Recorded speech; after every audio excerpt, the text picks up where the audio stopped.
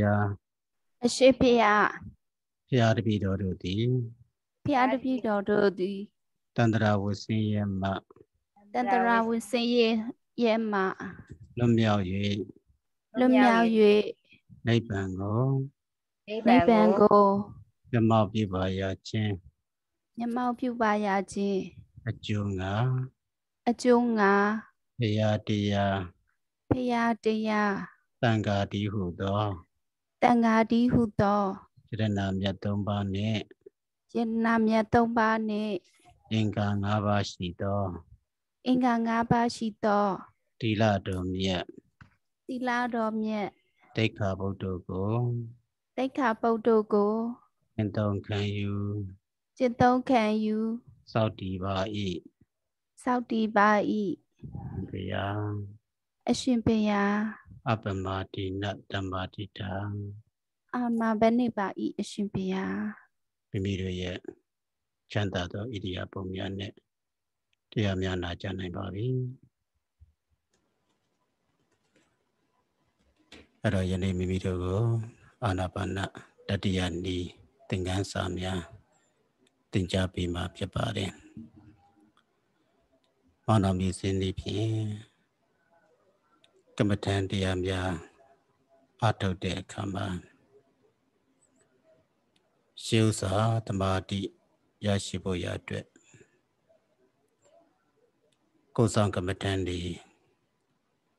အာနာပါနကမ္မထံဒီရှိမှပွားများအထုတ်ပြီးတမာတိထူထောင်ကြရပါတယ်ဒီလိုတမာတိထူထောင်ခြင်းရဲ့ရည်ရွယ်ချက်ဟာ ဝိပဿနာတရားများရှုတဲ့အခါမှာခန္ဓာရဲ့ဖြစ်ပျက်တည်ကြကြနနမြင်တွေ့ဖို့ရအတွက်တမာတိထူထောင်ခြင်းပဲဖြစ်ပါတယ်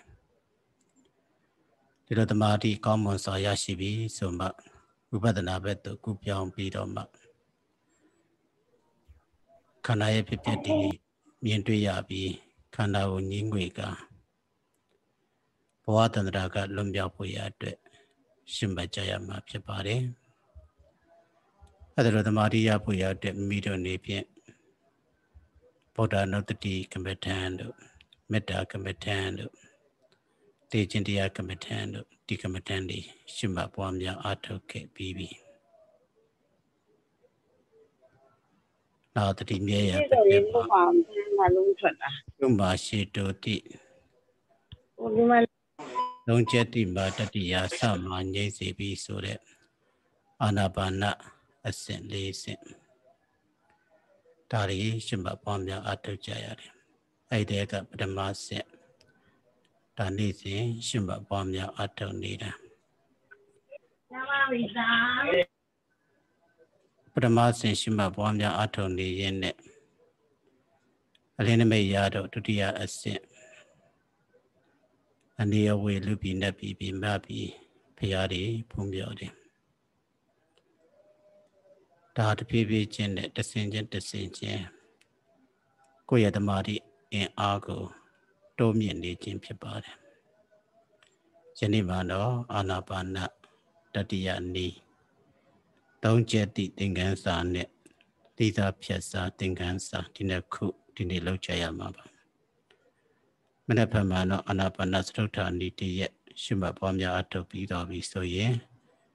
တပတ်ခါမှာဝိပဿနာတုခုပြောင်းတော့မှာဖြစ်ပါတယ်အဲ့တော့အာနာပါနတတိယနီဆိုတာမိမိတို့ယောဂီဟောင်းနေဖြစ်တည်တယ်မို့အလုံးလောက်တက်ကြလိမ့်မယ်ပေါ့နော်လောက်လဲလောက်ဖို့လိမ့်မယ်လို့ထင်ပါတယ်အရိယာနာပါနသရုဋ္ဌာနီဟာတိတ်ကိုကောင်းပါတယ်မိတို့ရဲ့ခန္ဓာကိုယ်မှာဆွဲကန်နေတဲ့ယောဂဗျာတွေလည်း ပျောက်စေနိုင်တယ်သူတော်ဘာရဲ့တဏ္ဍာမှာဖြစ်ပေါ်နေတဲ့ယောဂဗျာတွေလည်းပျောက်အောင်ကုပြီးနိုင်တယ်ဆိုလိုတာကတော့အာနာပါနတတိယနေလှုပ်ခြင်းဖြင့်စေကုလို့ရတယ်ဒါကြောင့်မို့မြတ်စွာဘုရားရှင်ကိုရောမြတ်ကိုကြားသောပုဂ္ဂိုလ်တွေကဘေးတစ္ဆကုတု စေးဆရာကြီးဆိုပြီးတော့ခေါ်ကြတယ်မြတ်စွာဘုရားကစိတ်ကူပေးတယ်စိတ်ဆရာဝန်ကြီးတတ္တဝါဒီတန္တရာဆက်ဆက်ကပါလာတဲ့ကိလေသာယောဂါဒီပြောက်အောင်စေနီးပေးတယ်ဆောင်းရန်ရှောင်းရန်ဒီပြောပြပေးတယ်ဒါကြောင့်မြတ်စွာဘုရားဘေတစ္ဆကုရု စေဆရာကြီးအဲ့တော့ဆရာဝန်တယောက်ရဲ့တာဝန်ဟာလူနာကိုကြည့်တဲ့အခါမှာ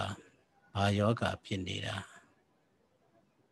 ဘလို့ကြောင့်ဘာဖြစ်တာဒီလိုစမ်းသပ်ပြီးတော့ပြောပြရတယ်ပြီးတော့ပြီဆိုရင်စောင်းရန်ရှောင်းရန်ဒီပြောပြကြစေတိုးတန်ကစေတိုးတောက်စီပြီးတန်ကပြီးရတယ် ဒါဆရာဝန်တယောက်ရဲ့တာဝန်ပဲပြောက်ဖို့ရအတွက်ကတော့လူနာပေါ်မှာအရေးကြီးသွားတယ်ဆရာဝန်ကတိတိကျကျဘာယောဂဒီလိုပြောနိုင်ရမယ်ဘာကြောင့်ဖြစ်နေတာဘလို့ကြောင့်အဲ့ဒီစေးနဲ့သက်ဆိုင်တဲ့ຢာကိုတိတိကျကျပြီးရတယ်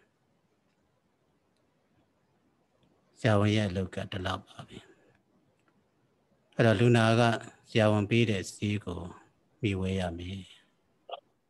စေးတွေလိပ်ပတ်လေးအောင်သုံးဆောင်ရမယ်နောက်ဆောင်ရန်ရှောင်ရန်တွေဆောင်တဲ့နေရာကိုဆောင်ရမယ်ပေါ့နော်ရှောင်တဲ့နေရာတွေရှောင်မှယောဂပြဆိုတာပျောက်စေနိုင်ပါတယ်အဲ့ဒါလိုမှမဟုတ်ဘူးဆိုလို့ရှိရင်ယောဂပြဆိုတာပျောက်ဖို့ရ ခက်တယ်ပေါ့တော်ဒီလည်းကောင်းပြီပေါ့နော်ဒီလိုမြတ်စွာဘုရားရှင်ကိုလိုမြတ်ပွန်ထွန်းပေါ်ပေါက်လာတယ်ပွန်ထွန်းပေါ်ပေါက်လာတဲ့အခါမှာမြတ်စွာဘုရားရှင်ကိုလိုမြတ်ကကိလေသာယောဂါတွေပျောက်ဖို့ရအတွက်စေနီးလို့ဆိုတဲ့တရားတွေဟောကြားပေးတယ်ကိလေသာယောဂါတွေကဘလောက်ပူလောင်တဲ့အကြောင်းဒီကိလေသာယောဂါတွေကြောင့်ဘဝတန္တရာကြီးရှည်လျားပြီးတော့ ဟောခြင်းဒုက္ခနာခြင်းဒုက္ခသိခြင်းဒုက္ခတွေခံစားရတဲ့အကြောင်းမြတ်စွာဘုရားပြောပြတယ်အဲ့ဒီကိလေသာတရားတွေငြိမ်းအေးဖို့ရအတွက်ချုပ်ငြိမ်းဖို့ရအတွက်ဘယ်လိုကမ္မထန်တရားတွေရှိမှပွားများအားထုတ်ရမယ်မြတ်စွာဘုရားသင်ကြားပေးတယ်လိုက်နာကျင့်သုံးရမှာကကိုယ့်ရဲ့တာဝန်ပဲအဲ့ဒါ လိုမှမဟုတ်ဘူးဆိုလို့ရှိရင်တော့ကိရိတာယောဂါတွေကပျောက်ဖို့ရအမတန်မှခက်တယ်။ဒါကြောင့်မြတ်စွာဘုရားပြောတဲ့စကားလေးကဒုံမေယိကိစ္စံမာတပံအခါတတော်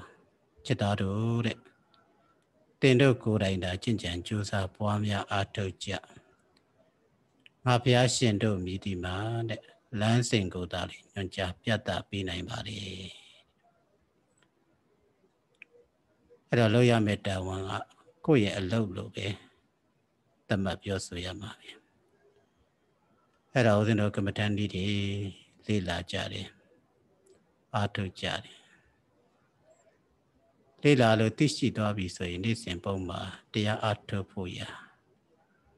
ကိုယ့်ရဲ့တာဝန်ပဲဓမ္မသာလျင်ကိုယ်တဏ္ဍမှာရှိတဲ့ကိလေသာတရားတွေငြိမ့်အေးပြီး ကိလေသာတရားတွေခင်းရှင်းပြီးတော့ငြိမ်းချမ်းတဲ့လူမှုဘဝကိုရရှိမှာပဲဖြစ်ပါတယ်။ကိုယ်တော်နှုတ်တွေစိတ်တွေအားလုံးအေးချမ်းသွားမယ်။အဲ့ဒါဥစဉ်တော့ဗာတရားတရားတီးတီးမှာသူတို့ရဲ့သက်ဆိုင်ရာနိစ္စနနဲ့အတူတတဝါရင်းငြိမ်းအေးဖို့ရအတွက်ဟောပြောပေးပါတယ် အဲ့တော့ဘာသာတရားကိုကိုးကွယ်တယ်ဆိုတဲ့ရည်ရွယ်ချက်ကိုကအကြောက်တရားတွေဖယ်ရှားဖို့ရအတွက်ကိုးကွယ်တာပဲကိုယ်စိတ်စည်းရဲကြောက်လို့ပဲသူလဲအားကိုးရှာလေသည်ကိုယ်စိတ်စည်းရဲကြောက်လို့ပဲငါလဲအားကိုးရှာလေသည်ဘာသာဝါဒမှန်သမျှကြောက်ကြလို့ပဲဖြစ်ပေါ်သည်တဲ့ ဘာသာတွေပေါ်လာတယ်ဆိုတာအကြောက်တရားကလွှမ်းမိုးမှုကြောင့်ဖြစ်ပေါ်လာတယ်ပေါ့နော်ဘယ်လိုကြောက်တရားကလွှမ်းမိုးတာလေလို့ဆိုလို့ရှိရင်လူကကြောက်တယ်ပေါ့နော်အောင်မြင်ပြီးသားပုဂ္ဂိုလ်ကလေအောင်မြင်မှုတွေရက်တန်သွားမှကြောက်တယ်မအောင်မြင်သေးတဲ့ပုဂ္ဂိုလ်ကလည်းပဲမအောင်မြင်ပဲနဲ့ ဆုံးရှုံးသွားမှကြောက်တယ်အဲ့ဒါတော့ကြောက်တရားကလွှမ်းမိုးလာတဲ့အခါမှာမကိုးကွယ်တဲ့မကိုးကွယ်ထိုက်တဲ့အရာတွေကိုကိုးကွယ်တာလေကြောက်တဲ့စိတ်ကိုဖြေပြောက်ဖို့ရအတွက်ကိုးကွယ်လာတာပဲအဲ့တော့အတိညာချော်ရွံ့နဲ့အတိညာမပြည့်စုံသေးတဲ့ဟိုးကဘာဥစ္စာကာလဆိုလို့ရှိရင်ရင်မြေတော်တောင်နေရစကိုးကွယ်လာရတဲ့အခြေအနေတိရှိလာတယ်ပေါ့နော် တော်ဒီတောင်နေကိုးကွယ်တယ်ရင်မြေတော်တောင်နေကိုးကွယ်တယ်ဘာလို့လဲအကြောက်တရားကိုနှစ်သိမ့်ဖို့အကြောက်တရားကိုပြပြောက်ဖို့ရတဲ့ဒီလိုကိုယ်ွယ်လာခဲ့ကြတာပေါ့နော်ကိုယ်စိတ်ဆင်းရဲကြောက်လို့ပဲသူလည်းအာကိုရှာလိသည်ကိုယ်စိတ်ဆင်းရဲကြောက်လို့ပဲငါလည်းအာကိုရှာလိသည်ဘာသာဝါဒမှန်သမျှ ကြောက်ကြလို့ပဲဖြစ်ပေါ်သည်တဲ့ဆင်းရဲဖြာဖြာငြိမ်းဖို့ရာဘာသာကိုးကွယ်သည်ရည်ရွယ်ချက်ကထိုဒုက္ခငြိမ်းကြဖို့ပဲဖြစ်ပေသည်ဘာသာကိုးကွယ်တယ်ဆိုတဲ့ရည်ရွယ်ချက်ကဆင်းရဲငြိမ်းဖို့ပဲဆင်းရဲဒုက္ခတွေများတတ်တဲ့များလာဖို့မဟုတ်ဘူးလူတစ်ပတ်သားကိုညှင်းဆဲဖို့ဒုက္ခပေးဖို့ရအတွက်လေမ ဟုတ်ဘူးပေါ့နော်ဘာသာတွေအတီးတီးပဲရှိတယ်ပေါ့နော်အဲ့ဒီဘာသာတရားလိုက်နာကျင့်သုံးခြင်းဖြင့်ဆင်းရဲဒုက္ခတွေငြိမ်းပြီးတော့ဒုက္ခတွေကင်းဝေးရမယ်ဆင်းရဲဖြာဖြာငြိမ်းဖို့ရာဘာသာကိုးကွယ်သည်ရည်ရွယ်ချက်ကထိုဒုက္ခငြိမ်းကြဖို့ပဲဖြစ်ပေသည်ဆင်းရဲငြိမ်းရန်အလုံးမှန်ဧကံလောက်ရမယ် ဒုက္ခငြိမ်းရန်တရားမှန်ဧကံကျင့်ရမယ်ဆင်းရဲငြိမ်းဖို့ရာတဲ့ဗန္တာတရားတွေမှာလမ်းညွှန်ထားတာတွေစုံးမထားတာတွေအသီးသီးရှိပါတယ်လမ်းညွှန်ထားသည့်အတိုင်းစုံစုံမသည့်အတိုင်းလိုက်လာကျင့်သုံးဖို့တော့လိုအပ်ပါတယ်ပေါ့နော်အဲ့ဒါလိုလိုက်နာကျင့်သုံးမှသာလေ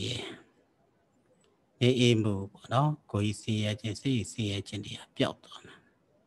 အဲ့ဒါလိုပျောက်ဖို့ဆိုတာလည်းပဲကိုကိုးကွယ်တဲ့ဘာသာဝါဒတရားဟာမစစ်မှန်ဖို့လိုအပ်သေးတယ်။စင်ရပြပြငြိမ့်ဖို့ရာဘာသာကိုးကွယ်သည်ရည်ရွယ်ချက်ကဒုဒုက္ခငြိမ်းချဖို့ပဲဖြစ်ပေသည်။စင်ရငြိမ်းရန်အလုံးမှဧကံလောက်ရမယ်။ ဒုက္ခငြိမ်းရန်တရားမှဧကံကျင့်ရမယ်။ကျင့်စဉ်မှန်မှဒုဒုက္ခမောချငြိမ်းပြီတဲ့ဘလောက်ပဲဘာသာတရားတွေပေါ်ပေါ်ဘလောက်ပဲလမ်းညွှန်ထားတာတွေရှိရှိကျင့်ဒီမှားနေမယ်ဆိုရင်တော့နေချမ်းမှုမရနိုင်ဘူးအသိဉာဏ်မပြည့်စုံသေးတဲ့အချိန်မှာရင်မြေတောတောင်တွေကိုကိုယ်လို့ရှိရင်တော့ဒါဆင်းရဲတရားတွေ ပျောက်ပြတ်မပြေးနိုင်ဘူးကိုယ်တရားဓမ္မတွေလိုက်နာကျင့်သုံးပြီးမဲ့လေကိုကျင့်နေတဲ့ကျင့်စဉ်တရားကြီးဟာမှားယွင်းနေမယ်ဆိုလို့ရှိရင်တော့ငြိမ်းချမ်းမှုမရနိုင်ဒါကြောင့်မို့မြတ်စွာဘုရားလူတရားရဲ့အသိဉာဏ်ကိုအမတန်မှတ်တမ်းဖို့ထားတယ်။จิตသားတို့တဲ့ယုံကြည်မှုတစ်ခုတည်းဒီစောင့်မရမှာမဟုတ်ဘူး။အဲ့ဒီယုံကြည်မှုဆိုတဲ့တတ္တတရားကို ပညာလေးကပ်ပြရမယ်။ပညာပါတဲ့တတ္တတရားဖြစ်ရမယ်။ပညာကမျက်စိနဲ့တူတယ်တတ္တာကခြေထောက်နဲ့တူတယ်ပေါ့နော်တတ္တာဆိုတဲ့ခြေထောက်ရှိပြီးပညာမျက်စိကန့်နေမယ်ဆိုလို့ရှိရင်တော့မကိုးကွယ်တဲ့မကိုးကွယ်ထိုက်တဲ့ຢာတွေကိုးကွယ်တယ်ပေါ့နော် ဒါဒီမလုတ်တဲ့မလုတ်ထိုက်တဲ့ຢာတွေလုတ်တယ်ပေါ့နော်တတ္တာခြေထောက်တော့အားကောင်းတယ်လွဲတတ်တယ်ပညာမျက်စိကအားနေတော့အဲပညာမျက်စိတတ္တာခြေတော်အားကောင်းပြီးတော့ပညာမျက်စိအားနေတဲ့အခါမှာတော်တော်တချော်တွေပြတ်သွားတတ်တယ်ပေါ့နော်နောက်ပညာမျက်စိတော့အားကောင်းပြီး တတ္တာဆိုတဲ့ခြေတော်ကပြက်နေခဲ့မယ်ဆိုလို့ရှိရင်လည်းပဲကောက်ကျစ်တာမျိုးဒီအပြောသမားတက်တက်ဖြစ်သွားတတ်တယ်ပညာဆိုတဲ့မျက်စိပညာတော့တိတ်ကိုတတ်တယ်တော်တော်ယုံကြည်မှုလက်တွေ့လှုပ်ဆောင်မှုကမရှိတော့အပြောသမားတက်တက်တာလေးဖြစ်နေတာမျိုးတွေရှိပါတယ်ပေါ့နော်ဒါကြောင့်မို့ပညာပါတဲ့တတ္တာတရား ကိုယ်တတ္တမှာရှိရမယ်ဓမ္မတာလေးဦးတင်တို့မကိုးကွယ်တဲ့မကိုးကွယ်ထိုက်တဲ့အရာမလုံးတဲ့မလုံးထိုက်တဲ့အရာကိုလုံနေတဲ့အလုပ်ကိုကျင့်နေတဲ့အကျင့်ဟာမန္တလာမမှန်ဘူးလားဆိုတာစစ်စစ်နိုင်မှာဒါဦးတင်တို့မြတ်စွာဘုရားကာလမတုံမှာဟောကြားတာရှိပါတယ်ကာလမတုံပေါ့နော်ဒီကိန္တမုတ်တိဏိကုံရွာမှာ ဒီတသရေးကြွားရင်းနဲ့မြတ်စွာဘုရားရောက်လာတော့ဒီကာလမမျိုးသားတွေအမြတ်စွာဘုရားကိုရှောက်ကြတယ်ရှင်ဘုရားတဲ့တပိတော်တို့ရွာမှာဘာသာရေးခေါင်းဆောင်အတီးတီးကြွရောက်လာကြတယ်ဘုရားဒီလိုကြွရောက်လာတဲ့အခါမှာဟိုဘာသာရေးခေါင်းဆောင်လည်းပဲသူ့ဝါဒကောင်းတယ်ခြားဘာသာတရားမကောင်းဘူးနောက်ဘာသာရေးခေါင်းဆောင်တူကလည်းပဲဒုဘာသာမှာကောင်းတယ်ခြားဘာသာကမကောင်းဘူးလို့ပြောတော့ တပိတော်တို့ရဲ့စိတ်တွေဝေဝါးသွားတယ်ဗျာတဲ့ဘယ်လမ်းကိုလိုက်လို့လိုက်ရမှလည်းမသိဘယ်ဝါဒကိုကင်ဆွေးရမှလည်းမသိစိတ်တွေကြောင်ကြီးဖြစ်ပြီးတော့တန်တရားပွားရပါတယ်ဗျာဆိုပြီးတော့ရှောက်တာရှောက်တော်မြတ်စွာဘုရားရှင်းပြတယ်အေးတဲ့ကလမတို့မင်းတို့တဲ့တန်တရားဖြစ်မယ်ဆိုရင် ဖြစ်တိုက်ပါတယ်မင်းတို့တန်တရားဖြစ်တာအပြစ်မဟုတ်ဘူးတဲ့တန်တရားဖြစ်တဲ့လို့ကို ဖြစ်ထိုက်တာတဲ့တန်တရားဖြစ်ကိုဖြစ်ရမယ်အဲ့တော့တန်တရားမဖြစ်ခြင်းဘူးဆိုရင်တဲ့အခုငါပြောပြမယ်ပေါ့နော်ငါဟောတဲ့တကားကြီးစေကွန်ပေါ့နော်ကလမတုံပါဦးတို့ဒါနာမည်ကြီးပါတယ်တရားဝတ္ထုဟာတဲ့ငါကိုးကွယ်တဲ့ပုဂ္ဂိုလ်တစ်စုံတူတယောက်ကပြောလို့ဆိုပြီးတော့လေမယုံသေးနဲ့အောင်တို့ရဲ့ဘိုးဘွားစင်ဆက်ကလက်ခံကျင့်သုံးထားတဲ့အရာဆိုပြီးတော့လေ မယုံသေးနဲ့အောင်တဲ့လက်မခံသေးနဲ့အောင်တို့ရဲ့ဆရာသမားစင်ဆက်ဆက်ပြောဆိုလာလို့ဆိုပြီးတော့လည်းပဲလက်မခံသေးနဲ့အောင်ကျမ်းဂန်ထဲမှာညညွတ်တယ်ဆိုပြီးတော့လေလက်မခံသေးနဲ့အောင်တဲ့ငါတင်ယူထားတဲ့ဘုဒ္ဓတတွေနဲ့ကိုက်ညီပြီဆိုပြီးတော့လေလက်မခံသေးနဲ့အောင်တဲ့စသည်စသည်စကားကြီးစေကွန်ပေါ့နော်အဲ့ဒါဟောကြားခဲ့တာရှိတယ်ကဏ္ဍမတုတ်ကိုပြန်လေ့လာပါ အဲ့ဒါပြောပြီးတဲ့နောက်မြတ်စွာဘုရားဘာပြောတယ်လဲဆိုကာလမတို့တဲ့သူများတွေပြောတာတဲ့အလုပ်တစ်ခုလုပ်လိုက်တဲ့အခါအဲ့ဒီအလုပ်ဟာအပြစ်ရှိသလားမရှိဘူးလားစစ်စစ်ပါကောင်းကျိုးပေးတဲ့ຢာလားကောင်းကျိုးမပေးတဲ့ຢာလားစစ်စစ်ပါဓမ္မအလုပ်လားအဓမ္မအလုပ်လားစစ်စစ်ပါဆိုလိုတာကိုဉာဏ်နဲ့စစ်စစ်ခိုင်းတာ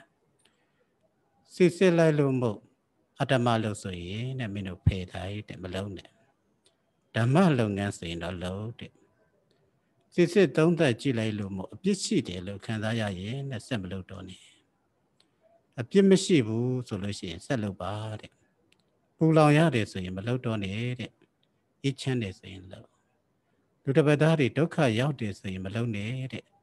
လူသားအလုံးအတွက်ချမ်းသာမှုကိုပြီးတယ်ဆိုရင်တော့လုပ်ကိုညာနဲ့တာလေးရေစစ်စစ်ပြီးတော့လုပ်ရမယ်ဆိုပြီးတော့ဒါကလမတုံပါမြတ်စွာဘုရား ဟောကြားထားတာလေးရှိတယ်ပေါ့နော်ဒါမြတ်စွာဘုရားလူတယောက်ရဲ့အသိဉာဏ်ကိုမတ္တမအရေးထားခဲ့တယ်ပေါ့ဒါကြောင့်မို့ကိုယ်ကလည်းပဲပြောတိုင်းယုံရမှာမဟုတ်ဘူးပေါ့နော်ကိုဉာဏ်နဲ့စစ်စစ်ရမယ်ဒီတရားနိစ္စနတိအာထုတ်တဲ့အခါမှာဒီတရားနိစ္စနေဟာကိုယ်ငြိမ်းချမ်းမှုပြီးနိုင်သလားတကယ်တရားအားထုတ်လိုက်လို့မို့တလအချိန်ပေးရတာနဲ့တန်ရက်လားတကယ်အားထုတ်လို့မို့စိတ်ရဲ့ငြိမ်းအေးမှုတွေ ရရဲ့လားဒီလိုစစ်စစ်ရမှာပါပေါ့နော်ဒါကြောင့်မို့ဘာသာဝါဒမှန်တယ်မြတ်ကြောက်ကြလို့ပဲဖြစ်ပေါ်သည်စင်ရဖြာဖြာငြိမ့်ဖို့ရာဘာသာကိုးကွယ်သည်ရည်ရွယ်ချက်ကထိုဒုက္ခငြိမ်းချဖို့ပဲဖြစ်ပေသည်စင်ရဲငြိမ်းရန်အလုံးမှာဧကံလောက်ရမယ်ဒုက္ခငြိမ်းရန်တရားမှာဧကံကြည့်ရမယ် ကျင့်စဉ်မှန်မှဒုဒုက္ခမௌချငြိမ်းပြီပြီအဲ့တော့ကျင့်စဉ်မှန်မှဒုက္ခတရားတွေစင်ရဲတွေဆိုတာငြိမ်းမှာကျင့်စဉ်မမှန်ဘူးဆိုရင်မငြိမ်းဘူးဒါပြင်ကျင့်စဉ်မှန်တယ်မမှန်ဘူးဆိုတာကိုဉာဏ်နဲ့စစ်စစ်လိုက်တဲ့အခါမှာဘာနဲ့သုံးသပ်ရမလဲဆိုရင်မက်ကင်ရှစ်တန်စံကောင်းမှန်တရားမှတ်ကြောက်ဖြစ်ပါသည်တဲ့မက်ကင်ရှစ်တန်စံကောင်းမှန် တရားမှတ်ကြောက်ဖြစ်ပါသည်မက်ကင်ရှစ်ပါးနဲ့စစ်စစ်ရမှာမက်ကင်ရှစ်တန်စံကောင်းမှန်တရားမှတ်ကြောက်ဖြစ်ပါသည်ရှစ်ပြမက်ကင်ဘောင်းမဝင်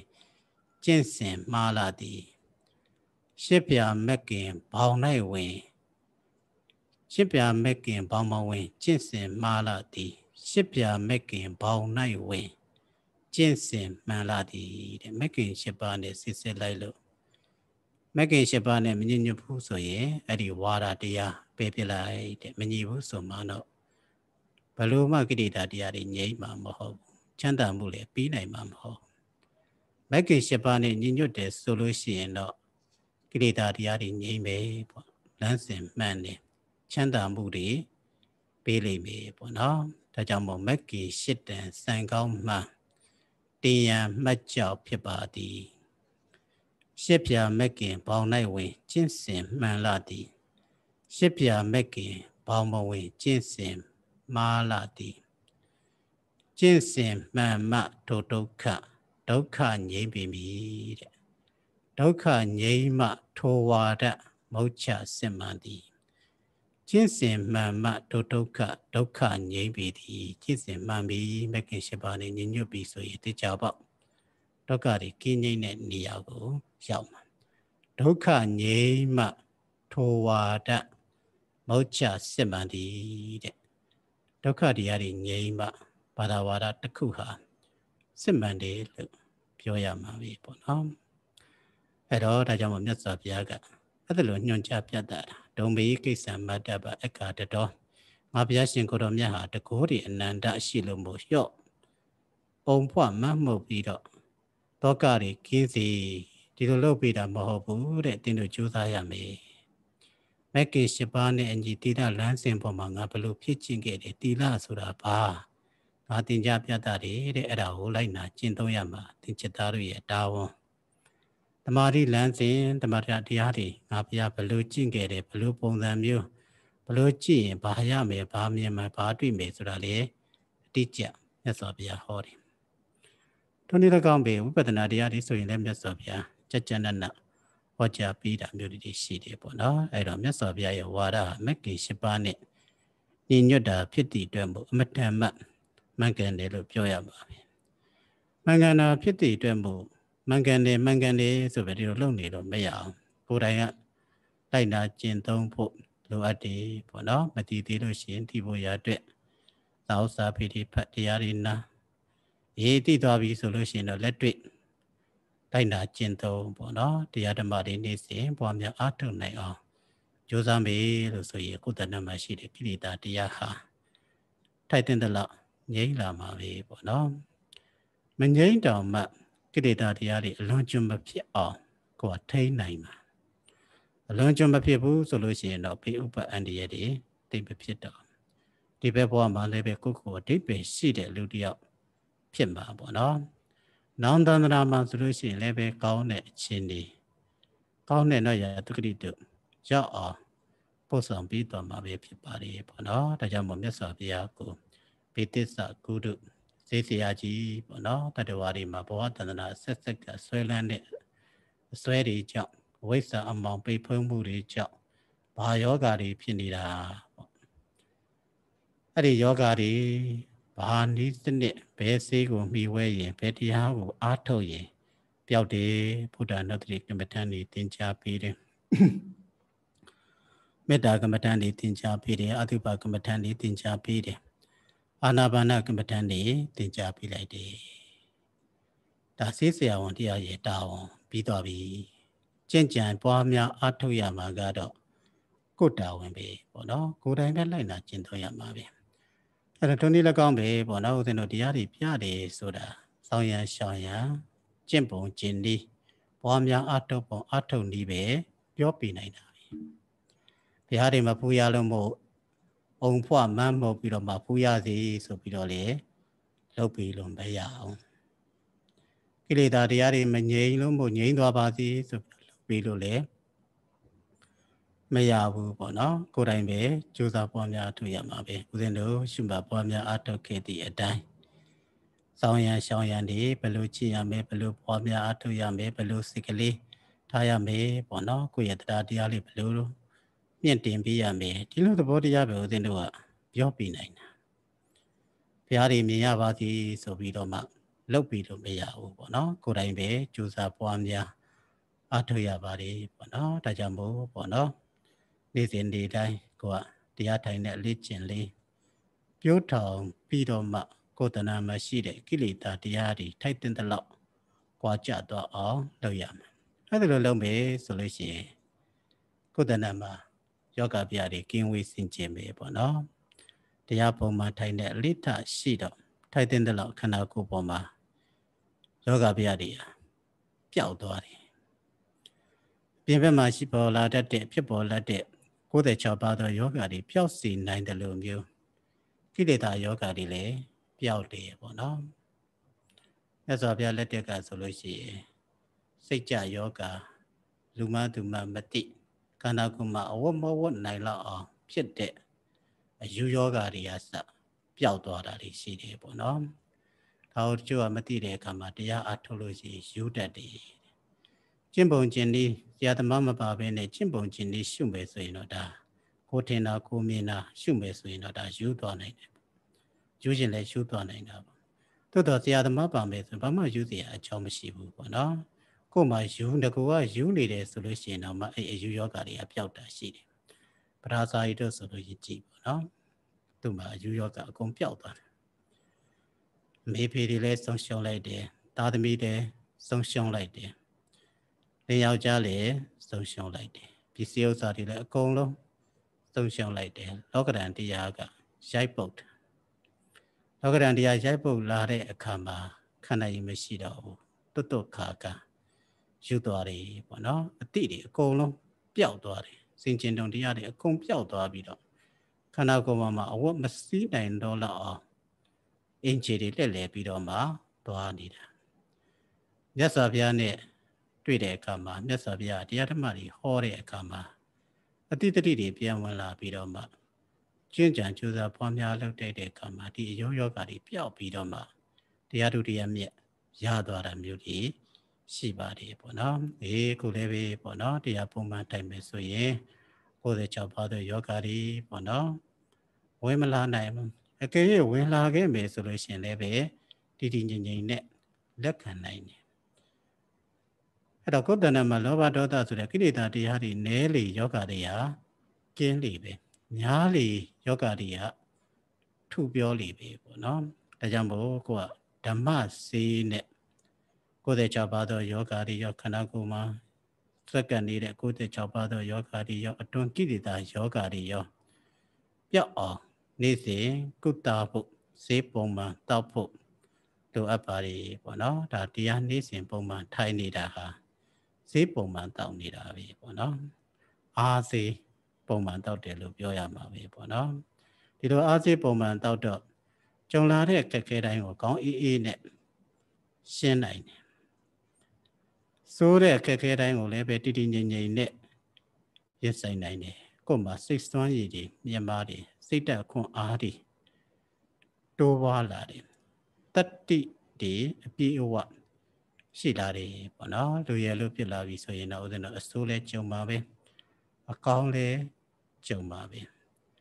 အစိုးကြုံလဲပဲတည်ငြိမ်ဖို့လိုအပ်တယ်အကောင်းကြုံလဲပဲတည်ငြိမ်ဖို့လိုအပ်တယ်အေးအဲ့လိုတည်ငြိမ်ခြင်းနေဆိုရင်တော့ကိုကလေ့ကျင့်ထားဖို့တော့လိုအပ်တာပဲလေ့ကျင့်မှုရှိမှတည်ငြိမ်သူဆိုတာဖြစ်တာပဲလေ့ကျင့်မှုမရှိဘူးဆိုလို့ရှိရင်တည်ငြိမ်သူမဖြစ်ဘူးပေါ့နော်ဘယ်ရမဆိုသင့်တော့လေ့ကျင့်မှုဆိုတာ ရှိရတယ်ပေါ့နော်ဘောလုံးသမားများဆိုလို့ရှိရင်ဘောလုံးစွမ်းရည်ကောင်းဖို့ဆိုလို့ရှိရင်လေ့ကျင့်ရတာပဲပေါ့နော်သူတို့လေ့ကျင့်ရတာပုံမှန်လေ့ကျင့်ရတာဒါမှသာလေလေ့ကျင့်မှုကောင်းမှဘောလုံးကြုံမောဆိုတာဖြစ်တာလေလက်ဝိသမားတွေဆိုရင်လည်းထုံတိလည်းကောင်းပဲပေါ့နော်အများအားလေ့ကျင့်နေရတာပဲသမာဓိတွေအားကောင်းခြင်းနဲ့ဆိုရင်လည်းထုံတိလည်းကောင်းပဲလေ့ကျင့်ရတာပဲပေါ့နော်ဒါကြောင့်မို့တမာတိဒီတမာတိကိုဧကကတာဆိုပြီးတော့အဘိဓမ္မာမှာသုံးထားတယ် ဧကဆိုတာတစ်ခုအကဆိုတာတည်နေရတာဆိုတာတဘာဝတရားဧကကတာစေတသိက်ဆိုတာရှိတယ်ပေါ့နော်အဘိဓမ္မာမှာဒီစေတသိက်ပိုင်းစေတသိက်ပိုင်းစေတသိက်52ပါးထဲမှာဧကကတာစေတသိက်ဆိုတာရှိတယ်ဧကအကတာပုတ်ပြတော့ဧကတပုတ်အကတပုတ်တာတပုတ်သုံးပုတ်ဧကဆိုတာတစ်ခုအကဆိုတာတည်နေရတာဆိုတာတဘာဝတရား ဒါကိုပေါင်းပြီးတော့ခေါ်တာတခုတည်းသောအာယုံပေါ်မှာတည်ငြိမ်နေတဲ့တဘာဝတရားကိုဧကကတာဆိုပြီးတော့ခေါ်တယ်ပေါ့နော်ဘယ်လိုတခုတည်းသောအာယုံပေါ်မှာတည်ငြိမ်တာလေဆိုသူကကောင်းတဲ့အာယုံပေါ်မှာလည်းပဲဒီဧကကတာတည်ငြိမ်တယ်မကောင်းတဲ့အာယုံပေါ်မှာလည်းတည်ငြိမ်တယ်ကဲကောင်းတဲ့အာယုံပေါ်မှာတည်ငြိမ်နေတယ်ဘုရားရှိခိုးတယ်ပေါ့နော်ဂုံတော်ပါမှာပဲစိတ်ကလေးကိုတည်ငြိမ်အောင်ထားတာ ပရိစိတ်တွေပေါ့နော်စိတ်ကလေးကဒီပေါ်မှာပဲစိတ်ကလေးကိုအာယုံထားတာတရားထုတ်တယ်ပေါ့နော်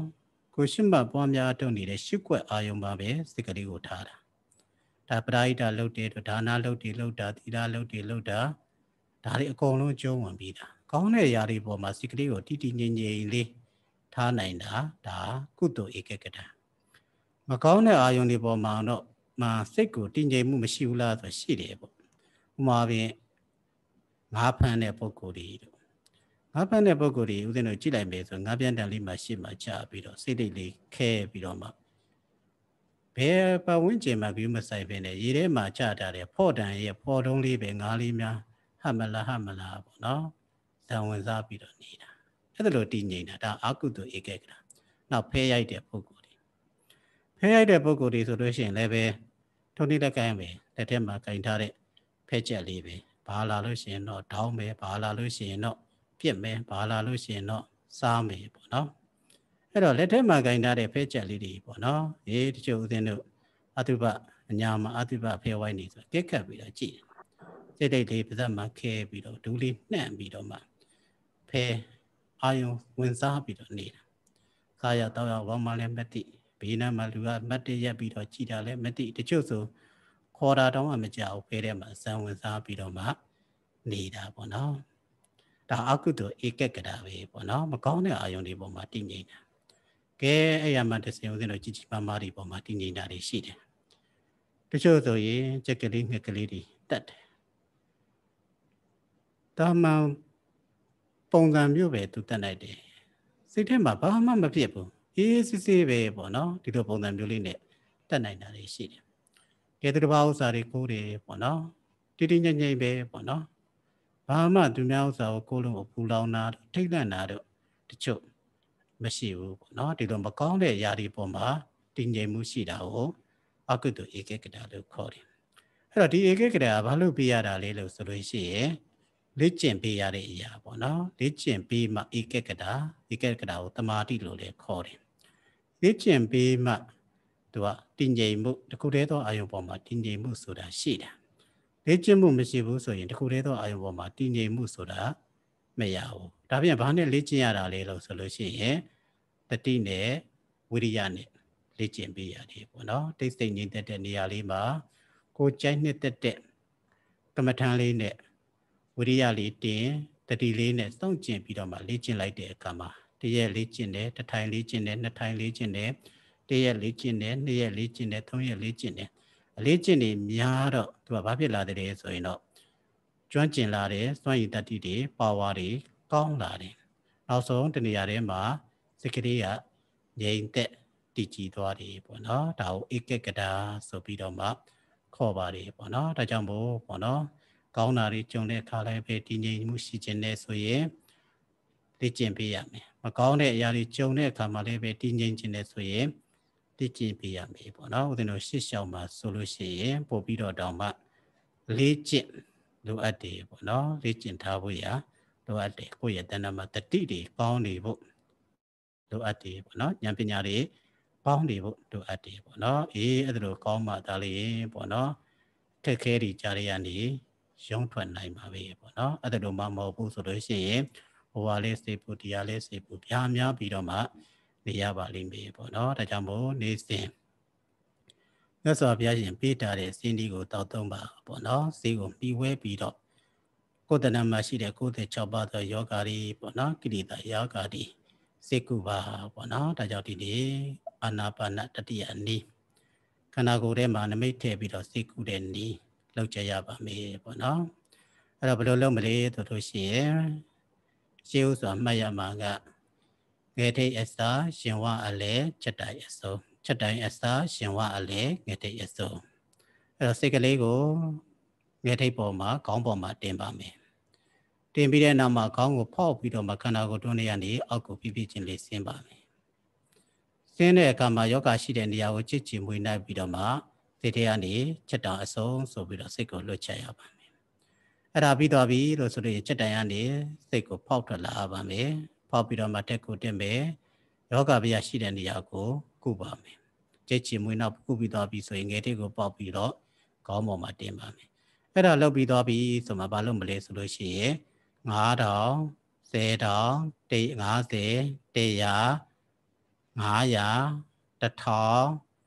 1000အထက်ပေါ်ရဲ့အောက်အာကာသစက်တိုက်စက်တိုက်စက်တိုက်လုပ်ပြီးပါပဲအဲ့မှာဘယ်မှာနားရှောက်လို့ရှိရင်နားမလဲဆိုလို့ရင်900ရောက်ရင်နားပါ အထက်900ရောက်ရင်နားပြီးတော့ပြီဆိုရင်အောက်ဘောကဝတိနဂါပြည်နဲ့ငရဲပြည်တို့ကိုဖူးမြော်ပါပေါ့နော်ဒါအာနာပါနသုံးချက်တိလောက်ပုံလုံးနေပေါ့နော်အဲ့တော့စေကုယုံတက်တက်ပဲလုပ်မယ်ဆိုရင်တော့အထက်9000အစစကလေးက9000အာယုံပြု9000ကိုအောက်ကိုဖြည်းဖြည်းချင်းလေးစင်ငယ်တိတ်ကိုဖောက်အောက်ကိုဖြည်းဖြည်းချင်းလေးစင်ကျမ်းမာရေးမကောင်းတဲ့နေရာကိုကဒူးမကောင်းမှုဆိုဒူးနေရာလေးကိုရက်ပြီးတော့မချစ်ချင်မွေးနောက် အသေးမကောင်းမှုဆိုရင်အသေးနေရာလေးကိုချစ်ချင်မွေးနောက်ပြီးတော့အောက်9000အစုံအောက်9000ကနေပြန်တက်လာတဲ့ကျမ်းမာရေးမကောင်းတဲ့နေရာမှာလေထားပြီးတော့မစေကုငယ်တိတ်ကိုဖောက်ထွက်သွားပြီးတော့အထက်9000မှာထားအဲ့တော့စေကုဖို့ဆိုလို့ရှိရင်တော့အောင်9000အထက်9000ပေါ့နော်ဒီလောက်သာလေးလွတ်ထားပြီးတော့မှလုပ်ပြီးပဲပေါ့နော်အေးလုပ်တဲ့အခါမှာလည်းပဲဥစဉ်တော့အချင်းချင်းကာကာခောက်ခောက်ခါခါထက်ကာထက်ကာလေးလုပ်ဖို့လိုအပ်ပါတယ်ပေါ့နော်ဒါသုံးချက်တိလုပ်ပုံလုပ်နည်းဖြစ်ပါတယ် နောက်လီးစားပြက်စားလီးစားပြက်စားကတော့ဘာမှမကက်ပါဘူးပေါ့နော်ဝါယူဝမတ်လုပ်မယ်ဝါယူဝမတ်လုပ်လို့မို့ကိုယ့်ရဲ့နမိတ်လေးလာပြီဆိုရင်အဲ့ဒီနမိတ်ကိုခေါင်းပေါ်တင်တခွားသီးလေးတွေစိတ်တလို့ပဲအောက်ကိုစိတ်နဲ့တိကျသွားပေါ့နော်နှလုံးချင်းလောက်မှန်းစပြီးတော့စိတ်ကလေးနဲ့လီစိတ်နဲ့လီခိုင်းတာနမိတ်နဲ့လီခိုင်းတာပေါ့အလော်လိုက်အလော်လိုက်လီခါရောက်ပြီဆိုရင်နားနားပြီးသွားပြီဆိုရင်လီခဲ့တဲ့အပိုင်းကိုပြန်ကြည့်ပြီးသွားပြီ ဆိုလို့ရှိရင်အောက်ကိုဆက်ပြီးတော့လီပေါ့နော်ခြေပြားလေးတွေရစပေါ့နော်လီပေါ့အဲ့ဒါလို့အထက်တက်လိုက်အောက်ဆင်းလိုက်ထက်တက်လိုက်အောက်ဆင်းလိုက်ခန္ဓာကိုယ်ကိုပိုက်စိတ်တိုက်ပြီးတော့လီးနေဖြစ်နေရမှာချင်းချင်းကာကာကောက်ကောက်ကာကာထက်ကာထက်ကလီးရမယ်ပေါ့နော်လီးတဲ့အခါမှာကျမ်းမာရေးမကောင်းတဲ့နေရာကိုချင်းချင်းကာကာဖြက်ပေါ့နော်ချင်းချင်းကာကာမွေးနောက်မယ်ပေါ့နော်နောက်ဒီနေသားပြစားဟာ အိပ်ပြီးတော့လုပ်ရင်ပို့ပြီးတော့ကောင်းပါတယ်မိမိတို့အိပ်တဲ့အခါမှာလည်းပဲစိတ်ကလေးနဲ့အောက်ဆင်းလိုက်တက်တက်လိုက်အောက်ဆင်းလိုက်တက်တက်လိုက်ပေါ့နော်ဒီလိုပုံစံမျိုးလေးဖြက်ပေါ့နော်ဒါဘာလောက်တာလဲလို့ဆိုလို့ရှိရင်ခန္ဓာကိုယ်ထဲမှာလင်းနမိတ်ထည့်ပြီးတော့မှစေကုတယ်ပေါ့နော်စေကုတာတော့မဟုတ်ပါဘူးတကယ်ကတော့တမာရီအားဒီမြင့်တက်တက်မြင့်မားလာအောင်တဆင့်မြင့်ပြီးတော့လေ့ကျင့်တာပါသို့တော့ဒီလိုလှုပ်ခြင်းဖြင့် ယောဂဗျာတွေလည်းပဲပျောက်သွားတာဖြစ်တည်တွင်ဖို့အာနာပါနတတိယနီးကိုခန္ဓာကိုယ်ထဲမှာနမိတ်ထည့်ပြီးတော့စေကုတဲ့နီးဆိုပြီးတော့လေဒီလိုသိချာသိထားကြတာဖြစ်ပါတယ်ပေါ့နော်ဒါကြောင့်ဒီနေ့မိမိတို့အာနာပါနတတိယနီးပြုလုပ်ခြင်းဖြင့်မိတို့ရဲ့တဏ္ဍာမှာပြင်ပမှာစက္ကန့်နေတဲ့96ပါးသောယောဂါလေးလည်းပဲပျောက်ကင်းပါစေမိမိတို့ရဲ့အတွန်းတဏ္ဍာထဲမှာရှိတဲ့ဣရိဒါယောဂါလေးလည်းပျောက်ကင်းပါစေလို့ပြောကြရင်တရားနီကုံချောပါတည်း သာဓုသာဓုသာဓုပါဗျာဗျာဆရာတော်ဘုရားသာဓုသာဓုသ